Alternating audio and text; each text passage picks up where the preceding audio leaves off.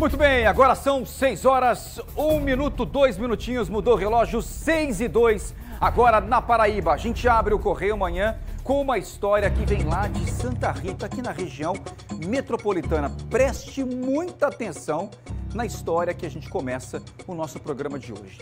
Uma família que estaria se mudando do bairro Tibiri. Você imagina só, os vizinhos acompanhando, para um caminhão na porta, a mudança começa a ser colocada dentro desse caminhão, eletrodomésticos, roupas, né, móveis, tudo sendo colocado dentro do caminhão. Até então parecia uma mudança normal, comum. Obviamente, saindo de uma casa ou de um bairro e indo para outro. Mas o grande problema é o motivo dessa mudança. Eles estariam sendo forçados, presta atenção, eles estariam sendo forçados a deixar a casa por uma facção criminosa. Segundo o relato dessa mãe, a mãe dessa família, que não vamos identificar, é claro, para preservar a imagem e integridade dessa mulher, os criminosos teriam ameaçado matar o marido dela caso não abandonassem o imóvel. O recado foi dado: se vocês não saírem da casa, a gente vai matar o seu esposo, matar o seu marido. Você imagina só? Coloca o vídeo na tela, por favor, para todo mundo entender um pouco mais sobre essa história, sobre esse caso absurdo. Roda e solta o som, raposinha. A sociedade não aguenta mais viver essa vida, não. Levaram a televisão que eu tinha, a única coisa que meu filho tinha, meu marido é um salariado. Não aguento mais. E as mães de família não aguentam mais essa vida, não, meu Deus. O senhor está sendo expulso daqui pelas facções. né? Quiseram matar meu marido. Vai levar o que da senhora? Era minha televisão. Uma coleirinha que meu filho brincava, meu filho de 10 anos. Aí agora a senhora tá, sempre, tá tendo que sair daqui Eu tenho que sair. porque as facções expulsaram. Sim. Pra meu marido não morrer. Meu Deus do céu. A gente fica desesperado junto com essa mulher aqui. É de arrepiar, ela desesperada, inconformada também, morrendo de medo. Se não deixar a casa, eles foram claros, os criminosos, né, os bandidos dessa facção. Foram claros, se não deixar a casa, o seu marido vai morrer. Vamos ao vivo com o Carlos Daniel, que tem mais informações sobre essa história inacreditável e revoltante também. Carlos Daniel, bom dia para você, bem-vindo ao Correio Manhã, meu amigo. Oi, João, bom dia para você e para toda a Paraíba ligada com a gente aqui no nosso Correio Manhã. Nesta segunda-feira, pois é, o choro dessa mulher é desesperador, é angustiante, é aflituoso, porque ela chora por ter sido expulsa da própria casa. E o pior disso tudo, essa mulher de 46 anos, ela morava nesta casa com o marido e com mais quatro crianças. Uma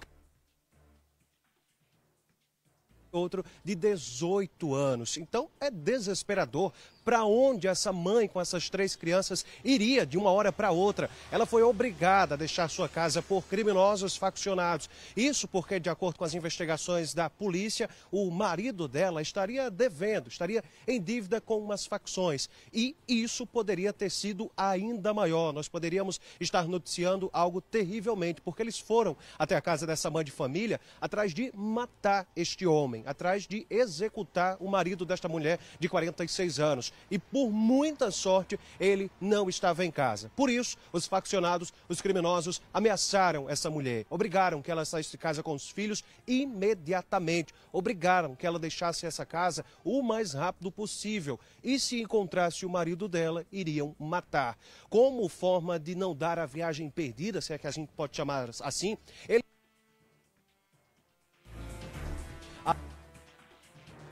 polegadas da casa dessa mulher, como forma ali de tentar amenizar, entre aspas, essa dívida. Então, o coronel, eh, comandante do batalhão nossa equipe, explicou um pouquinho mais sobre esse assunto. Vamos acompanhar. cortou.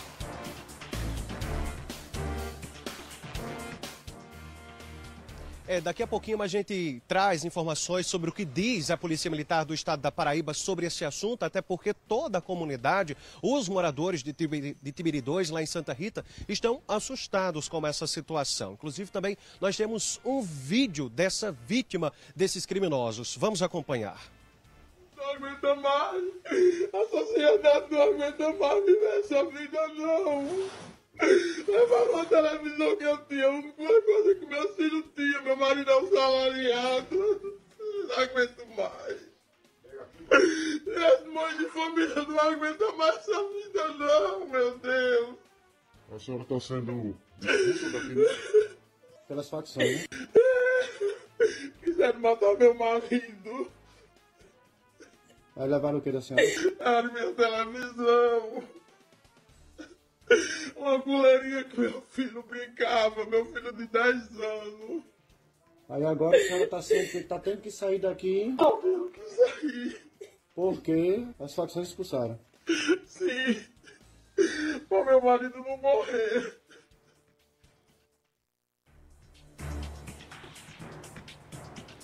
Essa mulher que obviamente não vamos divulgar o nome dela para preservar a segurança e a integridade dessa vítima, ela contou com a segurança né, da Polícia Militar da Paraíba para conseguir fazer a mudança, porque ela estava obviamente com medo de toda essa situação, porque os faccionados obrigaram, como eu disse, a ela sair de casa, pediram que ela saísse o mais rápido possível de onde ela morava. Então a Polícia Militar inclusive foi até esta casa, conseguiu fazer a segurança, a escolta desta mulher para que ela conseguisse se mudar em segurança. Mas mesmo ainda após fazer essa mudança, sair da própria casa, ela ainda está com muito medo, porque os faccionados ameaçaram matar o marido dela por conta dessa dívida. Inclusive, a Polícia Civil segue investigando esse caso para identificar qual seria essa vítima, eh, essa dívida, na verdade. A gente sabe que em muitos casos, alguns faccionados, algumas facções cobram de moradores para que eles mantenham, entre aspas, a segurança em algumas comunidades. A polícia não soube ainda responder se seria essa a dívida dessa pessoa com essa facção criminosa que atua lá em Santa Rita. Claro, nós vamos seguir acompanhando todos os detalhes dessa história aterrorizante, viu, João? Ou seja, segundo a informação que você trouxe, Carlos Daniel, o fato de expulsar a família dessa casa seria é, uma forma de obter o pagamento que o marido dela teria, né, a dívida que ele teria com essa facção criminosa. Obrigado, Carlos Daniel, valeu pelas informações. Então, para ter a garantia dessa grana, desse dinheiro que supostamente o marido dela deve para a facção criminosa, o que, que os bandidos fizeram? Obrigaram a família a deixar a casa lá em Tibiri.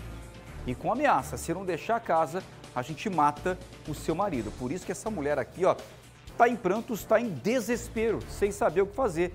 Claro que atendeu a ordem dos criminosos e deixou a própria casa. Pensa, deixou o próprio Porto Seguro, Deus sabe para onde foi, até porque o paradeiro, o paradeiro deles nem foi divulgado, até por segurança, principalmente desse homem, desse pai de família que teve a vida aí, ó, ameaçada por esses criminosos. A gente vai continuar, como o Carlos disse agora, vamos continuar acompanhando essa história bem de perto dessa mãe aqui, ó, em desespero. Tem um filhinho, ela fala que tem um filhinho de 10 anos, imagina só. Meu Deus do céu.